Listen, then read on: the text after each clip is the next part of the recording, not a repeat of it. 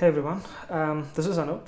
Uh, this is a demo for uh, we for Bruno. I built a VS Code extension uh, in the FOSS Hack 3.0 at FOSS United. Um, this is a demo presentation for it. Um, the presentation, I'll just quickly do a quick intro about myself, quick intro about Bruno, what my goal was in uh, FOSS Hack 3.0, and then we'll quickly go to the demo. Right? I'm Anoop.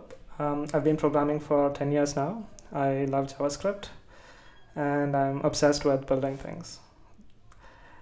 Um, let's talk about Bruno. Uh, Bruno is an open source IDE for exploring and testing APIs. We are revolutionizing the status quo of API clients such as Postman and Insomnia and others. Um, and this picture kind of represents the core uh, philosophy or you know idea of Bruno. You have a Bru file, which is uh, you know a simple markup language. We call it the Bru language and you can write it once uh, in a file in a plain text file and then you can run it either through a GUI client just like similar to Postman or you can run it using the Bru CLI or using the Bruno VS Code extension. That's the thing that I built it you know uh, in the last two days. So let's head over to the demo. Right so here is a uh, I have a folder here and I have a file here which is called getusers.bru and um, you know this is just a simple uh, simple Bru file right? Uh, if to, to know more about uh, you know the Bru file you can actually go to our docs and read about the design of the language itself.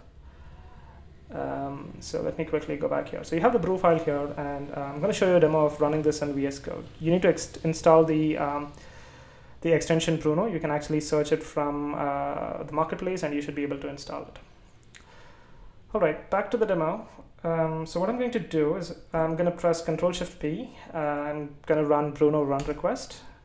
And um, what you see here is that you got the response here, we got what's the headers, we have a timeline of what happened, and we have a bunch of tests. And um, Bruno allows you to write declarative assertions like this instead of writing scripting, or it, you can also write tests here. This is a quick demo of the uh, VS Code extension.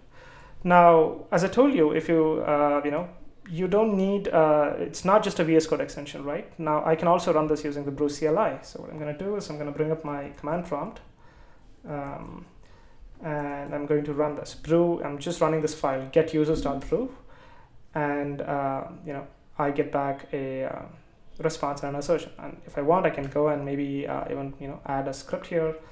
Let's call it as, you know, like post, um, let me add a script I'm just going to run uh, post response and I'm just going to console log um, you know rest.body the body we got and I'm going to run the CLI again and we have the response that we got. So it's a very powerful language that is used to describe your APIs in a very human friendly way.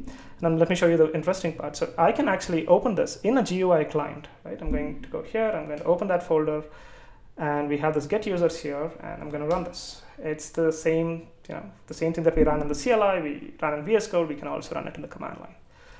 Um, that's about the demo. Um, thank you so much. I hope you enjoyed the demo, and thank you for the uh, volunteers and organizers of uh, FOSS United for organizing this event.